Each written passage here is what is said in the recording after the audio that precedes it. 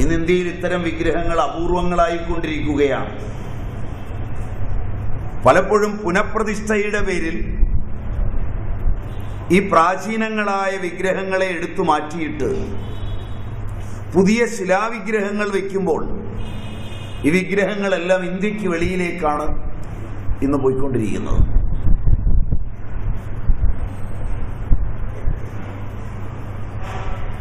അവയിൽ അഭിഷേകം ചെയ്ത നെയ്യും ഓരോ ധാതുവിനും അനിവാര്യമായ പ്രസാദവും.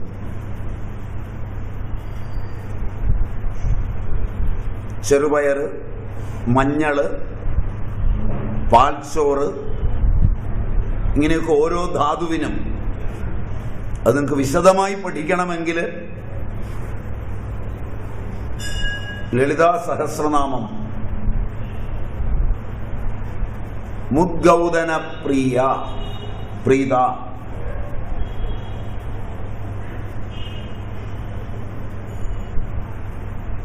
മധുപ്രീത എന്നൊക്കെ കാണുന്ന കുറെ ഭാഗങ്ങളുണ്ട്. ഓരോ തന്ത്രാഗമങ്ങളനുസരിച്ച് ഓരോ ചക്രവും ചക്രാന്തരാളസ്ഥയായ ദേവതയും ഹാഗിനി ഡാഗിനി ലാഗിനി തുടങ്ങിയ സാഗിനി തുടങ്ങിയ ദേവതകളും ആ ദേവതകൾക്ക് പരിപോഷണം നൽകുവാൻ പര്യാപ്തങ്ങളായ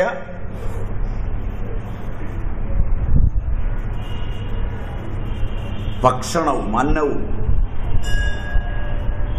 ആ അന്നം ആ ദേവതാസങ്കല്പത്തിനനുസരിച്ച് ഇങ്ങനെ രൂപപ്പെടുത്തിയിട്ടുള്ള വിഗ്രഹങ്ങളിൽ അഭിഷേകം ചെയ്തും അവയുടെ സമീപത്ത് വച്ചും അവയ്ക്കായിക്കൊണ്ട് പ്രാണാഹുതിയെ ചെയ്തും എടുത്ത് ഉപയോഗിച്ചിരുന്ന കാലങ്ങളിൽ ഇന്ത്യയിൽ രോഗങ്ങൾ കുറവായിരുന്നു എന്ന് ചരിത്രവും അനുഭവവും വെച്ച് പഠിച്ചാൽ നിങ്ങൾക്ക് ബോധ്യമാവേണ്ടതാണ്. അതുകൊണ്ട് ആ കാലങ്ങളിൽ അതൊന്നും ഒരു വിശ്വാസത്തിന്റെ മാത്രം കാര്യമായിരുന്നില്ല. ഇന്നത്തരം വിഗ്രഹങ്ങളൊക്കെ കുറഞ്ഞു വരുന്നു. ഉള്ളവ മാറ്റിയിട്ട് വലിയ പിരിവുമെടുത്ത് അതേ തരത്തിലുള്ളവ രാസപ്രക്രിയയിൽ ഉണ്ടാക്കുവാൻ അറിയാൻ വയ്യാത്തവർ അത്തരം കൂട്ടുകൾ ഉണ്ടാക്കുവാൻ അറിയാൻ വയ്യാത്തവർ. എന്തെങ്കിലും പ്രതിഷ്ഠിക്കുന്നു ഇതെല്ലാം നാം കണ്ടുവരുന്ന കാര്യമാണ്. അവിടെ വിശ്വാസം മാത്രമല്ല. വിശ്വാസം അതിന് ഈടുവയ്പ്പുകൾ നൽകുന്നത് ആയുർവേദം. ചികിത്സാ ശാസ്ത്രത്തെ കാണുമ്പോൾ ദൈവ വ്യപാശ്രയം യുക്തി വ്യപാശ്രയം സത്വ അപജയം എന്ന് മൂന്ന് തരത്തിലാണ്. ഞാൻ അതിനിടയിൽ ഒന്ന് ചോദിക്കട്ടെ? എന്റെ ഭാഷ നിങ്ങൾക്ക് മനസ്സിലാകുന്നുണ്ടോ? ഏ? മലയാളം മനസ്സിലാകുന്നുണ്ടാവും. ഇല്ലെങ്കിൽ പറയണം. ഇല്ലെങ്കിൽ നിങ്ങൾ വെറുതെ വന്നിരുന്നിട്ട് പോയി കഴിഞ്ഞാൽ അത് നഷ്ടമാണ്. ഞാനൊരു രസത്തിന് ഇവർ വിളിച്ചപ്പോൾ വന്നതാണ് കാരണം അവിടെയുള്ള കുറേ കാര്യങ്ങളിൽ നിന്ന് രണ്ട് ദിവസം രക്ഷപ്പെടാൻ കിട്ടുന്ന ഒരു പരിപാടിയായിട്ടാണ് ഞാനിതിനെ കണ്ടത്. അതുകൊണ്ട് അവർ വിളിച്ചപ്പോഴേ ഞാൻ വരാവുന്നവരോട് പറഞ്ഞു. അവരങ്ങനെ പ്രതീക്ഷിച്ചിരുന്നില്ല എന്നാണ് എനിക്ക് തോന്നുന്നത്. എന്നെ വിളിക്കാൻ വന്നവർ വിളിക്കുമ്പോൾ ഞാൻ വരും എന്നവർ പ്രതീക്ഷിച്ചിരുന്നില്ല എന്ന് തന്നെയാണ് വിളിക്കുമ്പോഴും ഒക്കെ ഞാൻ മനസ്സിലാക്കിയിരുന്നത് കാരണം അവരും അവർ വിളിക്കുവാൻ കാരണമായ അനുഭവം പറഞ്ഞ ആളുമൊക്കെ ഇപ്പോഴും അവരുടെ ടെൻഷൻ വിട്ടിട്ടില്ല എന്നാണ് എനിക്ക് തോന്നുന്നത്. അവർ പ്രതീക്ഷിച്ചത്ര ആളുകൾ ഒന്നില്ല എന്നും പറഞ്ഞാൽ അവരിരിക്കുന്നത്. അമേ റൈറ്റ് I right? ഞാൻ വെറുതെ ഒരു തമാശയ്ക്ക് പോകുന്നു. അതുകൊണ്ട് ടെൻഷനൊന്നും വേണ്ട. നിങ്ങൾക്കും വേണ്ട അവർക്കും വേണ്ട. ഞാൻ രണ്ടു ദിവസം ഏതായാലും അതുകൊണ്ട് ഞാൻ എന്റെ കൂടെയുള്ള പരിചയക്കാരി ചിലരോടൊക്കെ വിളിച്ചിട്ട് പറഞ്ഞു ബോംബെക്ക് പോവാണ് കൂടെ കൂടുന്നു? പോരെ. രണ്ടു ദിവസം ചുമ്മാ സ്ഥലത്ത് നോക്കി ഒന്ന് മാറി നിൽക്കാം. അങ്ങനെയാണ് പോകുന്നത്. അതുകൊണ്ട് നിങ്ങളുടെ ലാഘവത്തിന് കുറവ് വരണ്ട. പിന്നെ പ്രഭാഷണ വിഷയം. അതിവിടെ വന്നപ്പോൾ ഇവർ പറഞ്ഞപ്പോഴാണ് ഞാൻ അറിഞ്ഞത്. അതും എനിക്ക് വളരെ സന്തോഷമായി. കാരണം എനിക്ക് വളരെ ഇഷ്ടപ്പെട്ട വിഷയങ്ങളിലൊന്നാണ്. ക്ഷേത്ര ഉപാസനയും ആരാധനയും ഒക്കെ കുട്ടിക്കാലത്ത് നന്നായി പഠിച്ച വിഷയങ്ങളാണ്. അതുകൊണ്ട് അതിനൊരു പുന പഠനം ആവശ്യം വരാത്തവയാണ്. വളരെ ചെറുപ്പത്തിൽ പഠിച്ചതാണ്. എന്ന് തന്നെയുമല്ല അതിന്റെ ആഗമരഹസ്യങ്ങളിലൂടെ അന്ന് കടന്നു പോകാൻ കഴിഞ്ഞിട്ടുള്ളതുമാണ്. വിഷയം നിങ്ങൾക്ക് എത്ര മനസ്സിലാവുമെന്നത് മാത്രമേ എനിക്ക് സംശയമുള്ളൂ.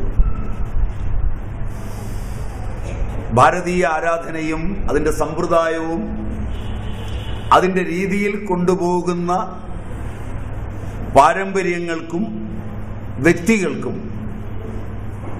രോഗമുണ്ടാവില്ല എന്നാണ് ചരിത്രം പഠിപ്പിക്കുന്നത്.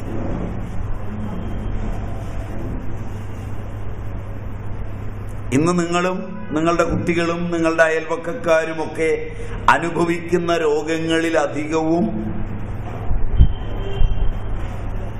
പൈതൃകപരമായ അറിവിൽ നിന്നുള്ള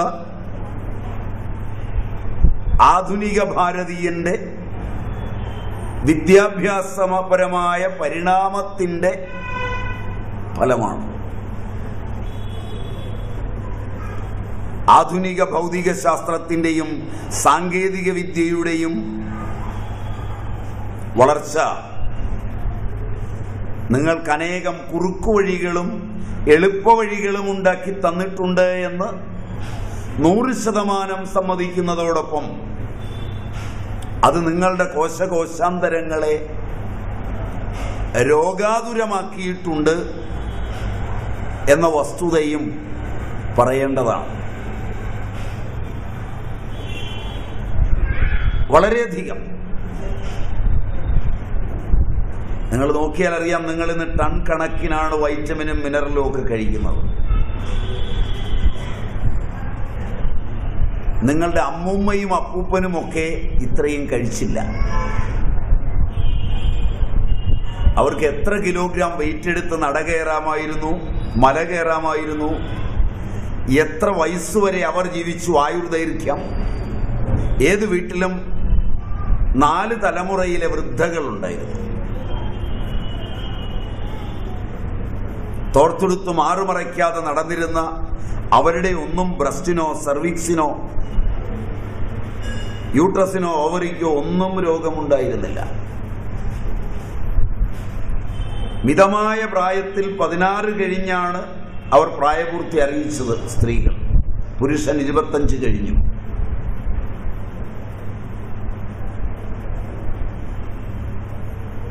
ഇന്ന് എത്ര മാറ്റം വന്നിരിക്കുന്നു. നിങ്ങളുടെ ഇടയിൽ ഇരുപത് ഇരുപത്തിയഞ്ച് വയസ്സാകുമ്പോഴേക്ക് കുട്ടികൾ ഏതാണ്ട് മെനോപ്പോസിലെത്തി പണ്ട് പത്ത് പ്രസവിച്ചിട്ട് കുഞ്ഞിന് ആരോഗ്യം തള്ളയ്ക്ക് ആരോഗ്യം ഉണ്ടെങ്കിൽ ഇന്ന് ഒന്ന് പ്രസവിച്ചിട്ട് വിദ്യാസമ്പന്നയായ സ്ത്രീയുടെ ഒരു കുട്ടിക്ക് ഓട്ടിസം എൻകഫാലൈറ്റിസ് ഹൈഡ്രോകഫാലസ് മൈക്രോകഫാലസ് പെറ്റിറ്റ്മാൽ ഗ്രാൻമാൽ എല്ലാം. ഒന്ന് പ്രസവിച്ച സ്ത്രീ മുപ്പത് വയസ്സെത്തുമ്പോഴേക്ക് fibroid cyst P C O D polycystic ovarian disease സർവിക്സിൽ യൂട്രസിൽ ബ്രസ്റ്റിൽ ക്യാൻസർ സകല മൂലമാല ഇതൊക്കെ ശരിയാണോ? നുണയാണോ? ഏ? നേരുണ്ടോ ഏ? അപ്പോൾ ഒന്ന് തിരിഞ്ഞു നോക്കുക. പഴമയെ പുച്ഛിക്കുകയും ആധുനിക സൗകര്യങ്ങളോട് ഇണങ്ങുകയും ആധുനികരാണെന്ന് കൊട്ടിഘോഷിക്കുകയും ചെയ്തപ്പോൾ ആരോഗ്യത്തിൽ വന്ന പരിണാമം. ഇവിടെ വളരെ നിർണായക പങ്ക് വഹിച്ചത് ഭാരതീയ ക്ഷേത്രങ്ങളാണ്. ആഹാരത്തിന്റെ നിയന്ത്രണത്തിനും മര്യാദയ്ക്കും ഏറ്റവും അധികം പങ്കുവഹിച്ചത് പൈതൃകമായ ആരാധനാ സമ്പ്രദായങ്ങളാണ്. അതിലേറ്റവും പ്രധാനമായതാണ് ഓരോ ധാതുവിനും രസം രക്തം മാംസം മേധസ് അസ്ഥി മജ്ജ ശുക്രം. അതിന്റെ വളർച്ചയ്ക്കും വികാസത്തിനും ഉതകുന്ന ഭക്ഷണ രീതികൾ